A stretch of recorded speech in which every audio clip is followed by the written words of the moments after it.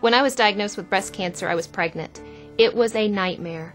Thankfully, I didn't have to worry about my job, paycheck, or insurance because I worked for Paul Nichols. In fact, three of us in Paul's company survived very serious illnesses at different times. Paul was incredibly supportive of all of us. I know Paul Nichols, and I would trust Paul to do the right thing and help people every time. Paul Nichols, fighting for what matters.